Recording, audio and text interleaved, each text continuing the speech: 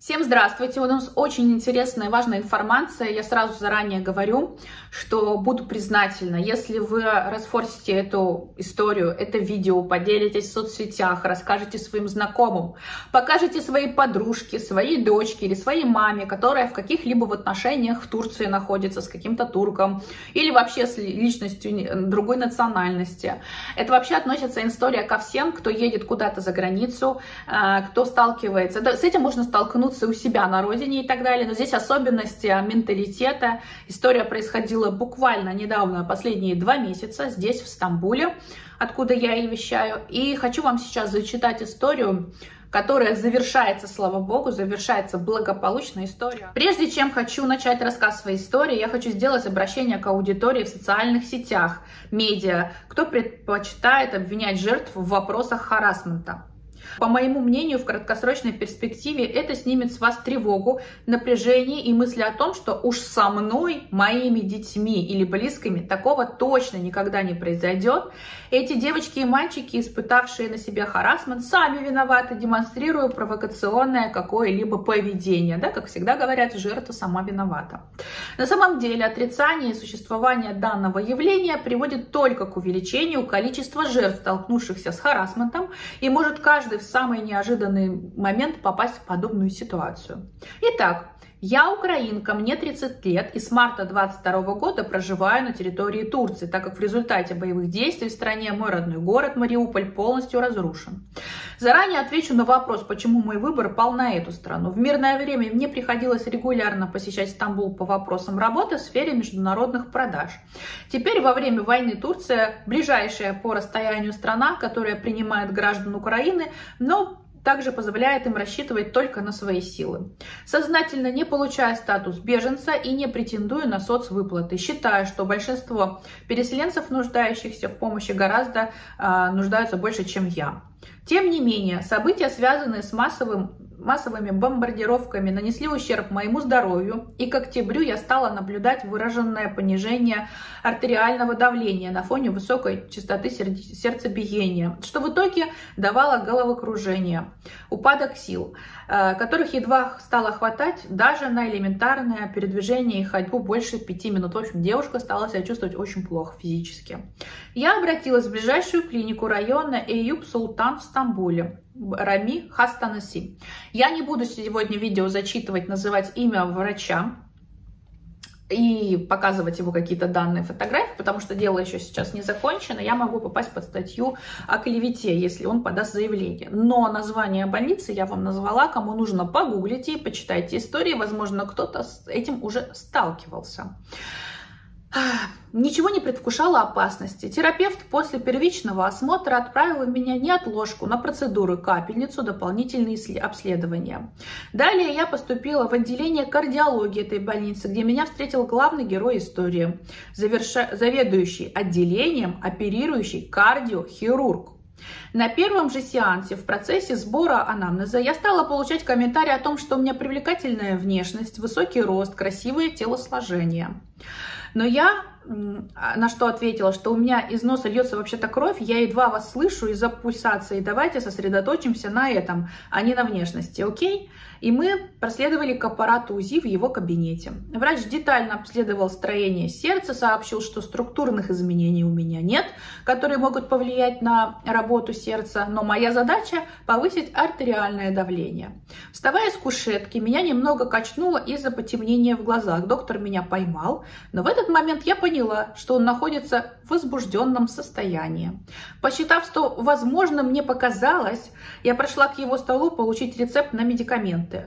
А, кто лечился в Турции, наверняка знает, что лекарства сильного действия, а также антибиотики невозможно купить без рецепта или визита к врачу. Я получила список препаратов, который включал в себя а, пометившие витамины и омегу.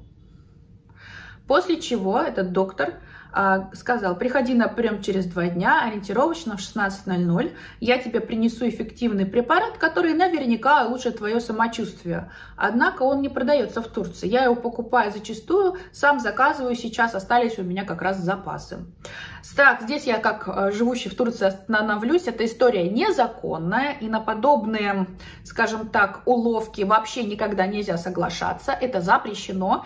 А, вам могут вообще, ну, на самом деле, принести какие-либо психотропные сложные препараты, либо наркотики, сделать типа а закупку, и вас могут вообще подставить и посадить за приобретение, там, не знаю, распространение, вообще разные статьи понавесить по продаже, приобретению, употреблению наркотических средств. Поэтому я вам внимание сразу говорю, если вам такое предложение поступает, ни в коем случае не соглашаемся, поэтому существуют рецепты, никто из-под полы здесь ничего не продает. И если бы представим, что такое бы могло быть, этот бы человек никогда в свой кабинет бы на рабочем месте это продавать не стал, потому что пишут камеры, все отслеживается, кто когда приходит, на какой прием и тому подобное. Слишком это можно, короче, наследить очень сильно. Наступает день X, я прихожу в отделение, доктор, увидев меня, ставит меня в конец очереди за всеми пациентами, просит подождать. Накануне конец рабочего дня клиники. Я была возмущена тем, что передать медикаменты после двух минут осмотра, вместо этого мне предстояло ожидать полтора часа в очереди. Сопоставив все факторы, я принимаю решение включить камеру телефона и вести запись приема.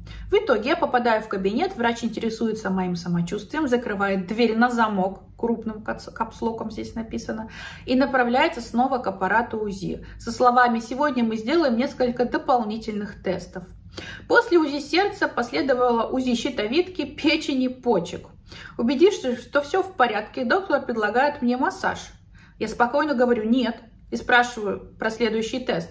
Следующим тестом оказалась проверка защемления позвоночника в области лопаток. В конечном итоге врач переворачивает меня на кушетке лицом вниз и садится на меня сверху на бедра, сгибая мои руки за спиной в локтях, соединяя в замок и держит своей рукой. Нормальный такой кардиолог и остеопат, я смотрю, он сразу. У меня уже, знаете, кипит внутри. На спине у меня находится старая травма, которая при пальпации дает сильную боль. Второй рукой он давит на спину, от чего я начинаю визжать и материться от боли. В этот момент кладет свою руку мне на шею, двигается вверх к голове, после чего запускает пальцы в волосы. Далее он отпускает мой замок рук и, сидя у меня э, на бедрах, кладет свою голову мне на спину и делает глубокие вдохи, чтобы ощутить запах кожи и в итоге прикасается к моей коже на спине губами. Я просто опешила. Все это происходило очень быстро. Я спрашиваю, с вами вообще все в порядке? На что доктор отвечает, извините, ты просто очень красивая. Я резко вскакиваю, преодолевая головокружение, одеваясь, кстати, напоминаем, у девушки сердечная недостаточность, если что. Врач что-то говорит, но я не слышу, и в итоге он пытается меня обнять, прижать к себе. Я начинаю сопротивляться, отталкиваю его с фразой «пардон, пардон», начинаю кричать. Камера телефона фиксирует весь процесс. Далее он говорит, твои медикаменты, вот они. Подводит меня к столу, достает начатую упаковку Гутрон. Говорит, препарат не продается в Турции. Более того, как я выяснила, он еще и не лицензирован здесь в стране. Я понимаю, что после произошедшего пойду в полицию. Я забираю медикаменты как вещдок и вылетаю из госпиталя как пробка из-под шампанского. Какое-то время у меня заняли поиски адвоката, подача заявления и оставление, составление протокола. Но уже сейчас дело близится к завершению. Врач отстранен от практики, больница уведомлена об инциденте и направлено обращение об его отзыве и лицензии. Подводя итог, обращаюсь ко всем девушкам. Какие случаи не должны замалчиваться? Отсутствие публичного порицания. Наказание дает возможность извращенцам продолжать свои действия, ощущая безнаказанность. Абсолютно подписываюсь. Если вы иностранка и столкнулись с подобной ситуацией в Турции, не бойтесь обратиться в полицию. Контакты адвокатов и переводчиков вышлю любому, кому потребуется помощь. Если нужно будет, у меня почта этой девушки есть, я вас могу связать. Вот такая интересная, ужасная, но интересная история. Интересна тем, что девушка расписала все очень подробно, что как происходило. И, пожалуйста, не скрывайте это. Я сразу дополню, мы с ней об этом переписывались, она абсолютно права, она и с адвокатом на эту тему общалась. А, в Турции довольно-таки популярна эта тема, не супер прям много, да, но такое встречается, вот так скажем. Это не редкость совсем. Это бывает очень много где, на самом деле, в других странах. Я вам оставлю, наверное, выпуск а, редакции Пивоварова, там было эм, выпуск огромный на час, расследования. Потому что, к сожалению, в патриархальных и закрытых семьях турецких девочка не может, или девушка, или женщина, прийти к мужу или к отцу, к родителям, сказать о том, что ее домогались, или же было какое-то подобное нападение. Это аиб сразу. А в этих семьях, при таком воспитании, эм, очень часто именно вот эта догма существует, что жертва сама виновата, сама спровоцировала. А, если мы берем вот этот момент э, где-то религиозный, культурный, ты должна себя так вести, не провоцировать людей на какие-либо там негативные, неприятные, опасные действия в отношении себя, своей чистоты. В общем, все глагольствует о том, что ты сама спровоцировала, сама виновата. Поэтому девочки не могут прийти об этом рассказать, не могут э, довести до конца наказания и наказать человека, который распоясался. Это вообще ненормальный человек, как э, девушка написала, извращенец. И вообще это нездоровая история. А, поэтому здесь в Турции такое есть, бывает, но с этим борется. Есть адвокаты, но это мы берем, если Стамбул крупный город. Если это провинция, я думаю, что там этого гораздо, конечно, больше, о чем не говорят, умалчивают, делают вид, что этого не происходит. Если у вас есть подобные истории в ваших странах, можете рассказать, напишите. Как минимум, это уже часть терапии, когда ты рассказываешь о своей проблеме, тебе уже становится легче. А, все равно это интернет, это отчасти анонимно, если у вас аккаунт не со своей там фамилией, именем. Напишите вам, может быть, а, вы почувствуете поддержку в комментариях об этом, станет вам немножко на чуточку легче, на толику. Я вообще, девушки, пожалуйста, солидарна с автором письма истории. Пожалуйста, не замалчивайте, это очень важно, надо об этом говорить. Спасибо вам всем за внимание. Жду ваших комментариев, лайки, распространите видео в соцсетях, особенно кто касается Турции. В Турции бывает или ездит. И имейте в виду, что такое может быть и не только в больницах, в других каких-то учреждениях или таких людей. А, мужчин на таких можно нарваться, и там может быть какой-то там, я не знаю, ухажер, жених или еще кто-то. Имейте в виду про вот это вот насилие. А, если кому-то нужна психологическая консультация, то в инфобоксе я оставляю свою почту, напишите туда тема письма консультация, мы с вами свяжемся в скайпе. Спасибо за внимание, всем пока.